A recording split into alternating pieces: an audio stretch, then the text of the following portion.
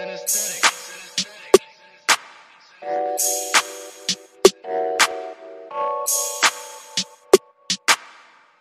was criticized for saying I will unplug the oxygen, which I will do as a leader, because people in Eldorado Park, people in Reiger Park, everywhere during COVID, we were on the ground while some of the critics were chilling, watching Netflix and, and, and You, TV. you, Mayor were Mackenzie, you wouldn't, you wouldn't actually turn off the oxygen of a patient, though, regardless of where they're from. I mean, is that not just rhetoric? You wouldn't physically turn off the oxygen for a patient and let them die, surely. And I would do that. As a government official, I'm, I'm supposed to do that. If there's a South African and a Zimbabwean, and the Zimbabwean or the Mozambican is on oxygen, and here's a South African citizen born and bred in South Africa, I will turn that off as a leader and say, because that's my duty to look. They, during Afghanistan, when, uh, when there was war in Afghanistan, we saw the U.S jets coming in, only taking U.S. citizens. Children were hanging on the plane. And I never criticized the U.S. government because that's what government's supposed to do. So your answer is yes, I would turn off that oxygen so that the South African can live. And in Zimbabwe, if there's uh, uh, uh, the uh, South African is on the oxygen pipe, I will never criticize the Zimbabwean leaders if they turn off the oxygen for South African because we have hospitals here.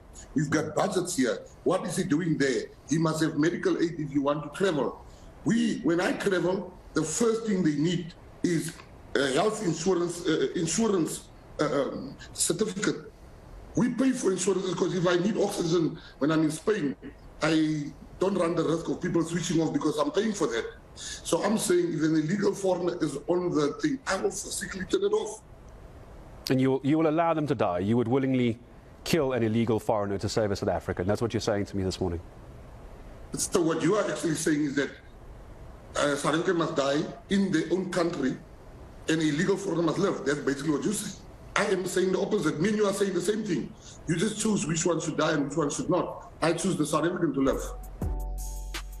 Breaking news, everyday news on Prince Miller Entertainment TV. Remember, guys, to like, share, comment, and follow, and turn on the notification bell so that you won't miss any of our new uploads that we do upload here. Yes, I'm gonna. Aniga, yes, this is uh, Gayton Mackenzie. Yes, uh, the man is saying that I can easily turn off uh, the oxygen of uh, illegal uh, Zimbabwean then I could put a South African on because uh, tinga my illegal immigrants. If you are if you are a foreigner uh, in a foreign country, you need to have a medical insurance that you pay. And uh, so that you get assisted wherever you travel. And uh, so munozviona sei ngatitaure in the comment section kuti uh, zvedu zvekuti hatina kwatinoenda tichaenda hedu cause these people have bad mind. And uh, mumwe ari kuti um, ZANU PF failed us for years and still in power. It's time for change. mumwe ari kuti vari kugara kuzimu munoti mapenzere vari kutorarama one sa zvangove zvenharo izvi. Samasai kuti uyai tivhote imi zvesa dzangove nharo hadzo muchazvirega henyu. Ko isu tirimo muzimu tiri kurarama one. And so guys that's the latest here. Geton mackenzie yes uh, he's the, M- he's the uh, mayor of karu. Yes the mayor of karu actually Yes, uh, I mean uh, the one um, my local uh, council seats uh, last time because of uh, this immigration card, and uh, he's one of the smaller parties in South Africa who have been gaining my seats uh, in um, in our local uh, authorities because of using the immigration card. I mean, for you, yeah, foreigners ilikuwa winisa uh, mavotes and so we're gonna see it again muna 2024 pawachata manational elections avo kuti nyaya yemaillegal immigrants ndo nyaya ichange ichipisa patawanda and so um, we're gonna keep you in the loop. We're gonna keep in the loop uh, about any new information zviri kuitika south africa because at the moment uh, it's not looking good.